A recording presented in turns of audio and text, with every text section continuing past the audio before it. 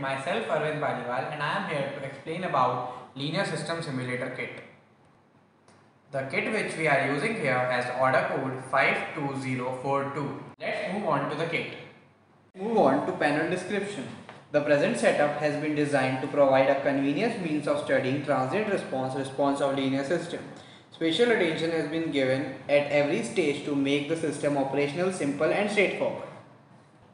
So now let me discuss some components of this kit. Number 1. Two different wave level uh, modulators, one frequency pot, uh, a disturbance input, feedback and here we have the ref. Here we get the gain with this knob to uh, increase or decrease the gain of the system. Here we have integrator, time constant with one input and one output. Here we have another time constant with two inputs and one output here we have un uncommitted amplifier and the last one is disturbance and here we have earth. Now let's move on further to the first object of this experiment. Number 1 open loop response of first order system. Let's go on with the connections. First connect the level 1 of square wave to the REF point given here. Now connect time constant from gains output to time constants input. Now we will connect the time constants output from here to the time constant seconds input. Now we will connect the CRO pins. Now we will put CRO on this point and the ground of CRO at this point. Now you can see that we have connected all the circuits and when we will switch on the circuit you can see this wave coming on CR.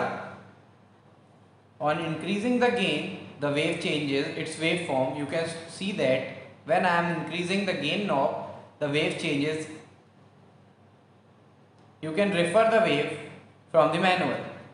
With this we wind up our first experiment open loop response on first order system start with experiment number 2 closed response of first order system. Connect the first level square wave to the input here at refer. Now connect feedback to the input port of uncommitted amplifier. Now connect the gain output to the input of integrator here. At last connect integrator's output to the uncommitted amplifier's output and then continue to connect the CRO at the output of uncommitted amplifier and the second port to the ground here switch on the CRO and switch on the kit and now we will slowly increase the gain to see the wave in the CRO.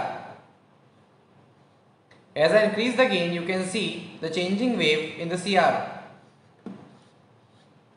On gradually increasing it we will get the required wave. You can see here.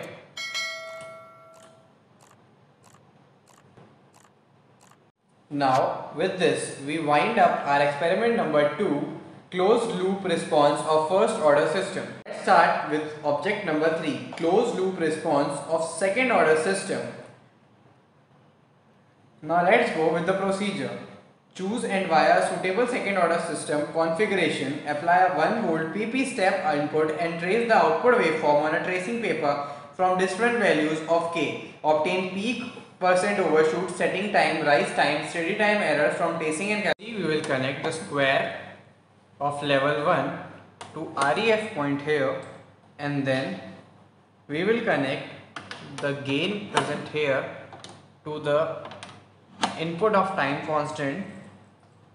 Then we will take out the input output from the time constant and put this x5 pin input of time constant 2 then we will then we will take out the output from time constant and put it in the feedback now we will connect CRO across negative terminal at time constant point and positive terminal at REF point here.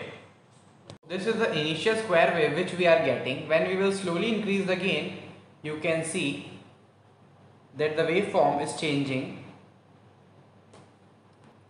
Now you can see it changing more and more. So this is the waveform which we get after putting the gain in the system. We conclude our experiment number 3 closed loop response of second order system. Now let's move on to the fourth experiment which is closed loop step response of third order system. So let's move on to the procedure of this experiment.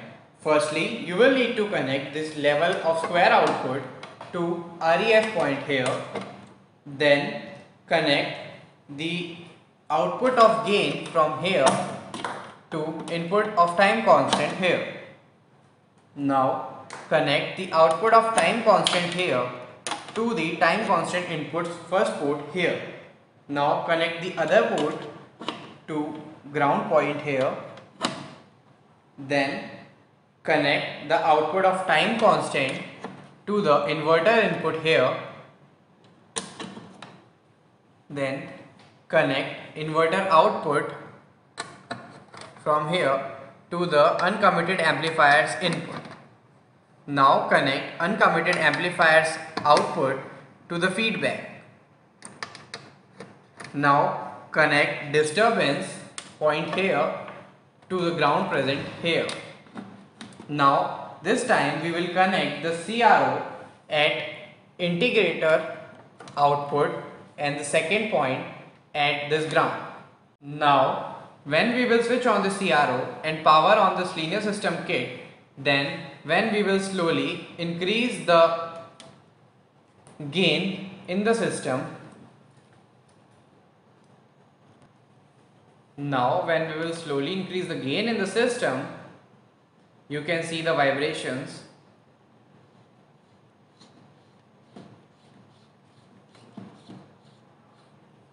you can. Now you can see the waveform present here. This we wind up our experiment fourth closed loop step response of third order system.